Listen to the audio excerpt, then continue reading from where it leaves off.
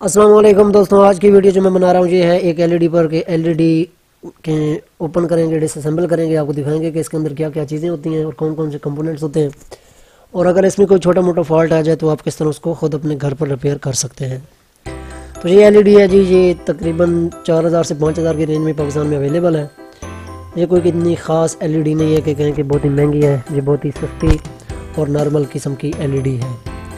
तो मैं अभी आपको दिखाता हूँ कि इसके अंदर क्या क्या चीज़ें हैं और ये किस तरह काम करती है, ये मैं आपको दिखा देता हूँ थोड़ा जल्दी जल्दी वीडियो को।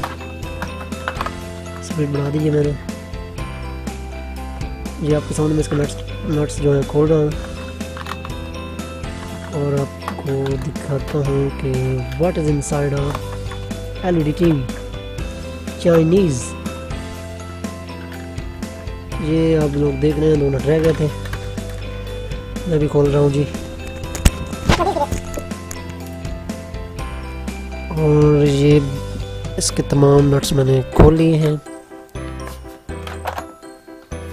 आप लोगों से गुजारिश है कि मेरे चैनल को ज़रूर सब्सक्राइब करें और कमेंट्स शेयर भी किया करें। आपकी मेहरबानी होगी। Thank you for watching video ये एलईडी का मैंने बॉडी को ओपन कर दिया है। ये इसका रिमोट सेंसर भी मैंने अलग कर दिया इससे। ये अब आपके सामने एलईडी ओपन है। इसकी बॉडी खुल चुकी है। आप लोग देख रहे हैं कि डिस्प्ले आपके सामने है। ये है जिसका डिस्प्ले उन्नीस इंच का और ये इसकी बटन वाली जो स्ट्रिप है और ये रिमोट सेंसर दो स्पीकर्स भी नीचे लगे हुए हैं। अभी मैं आपको डिस्प्ले भी खोल कर दिखाता हूँ कि डिस्प्ले के नीचे क्या क्या चीज़ें हैं और वो क्या क्या काम करती हैं। ये ये एलईडी आपको खुद रिपेयर करने में कोई मसला नहीं होगा।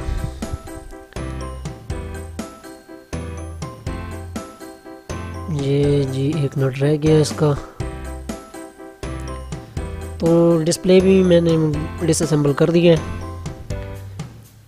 अभी मैं आपको मुकम्मल तौर पर दिखा देता हूँ जी कि डिस्प्ले को खोलने दें मुझे।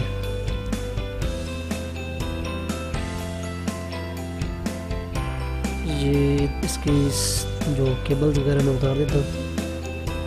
तो मैंने इसको मुकम्मल तौर पर उसे खोल लिया ये डिस्प्ले की बैग है, आप लोग देख रहे हैं।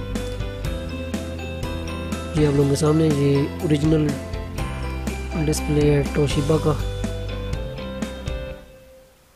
और ये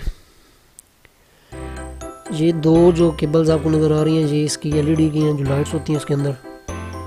और यहाँ पर मेन इसकी जो केबल लगती है वो कनेक्ट होती है।